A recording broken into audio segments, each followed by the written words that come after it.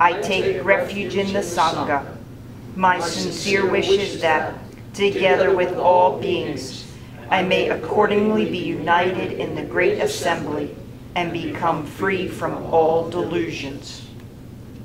The highest, most profound, and wondrous Dharma is rare to encounter even through millions of kalpas. Now I am able to see and hear it, to receive and keep it. It is my sincere wish that I may understand the true and real essence of the Tathagata. Namo Amitabha. Namo Amitabha. Namo Amitabha. Namo Amitabha.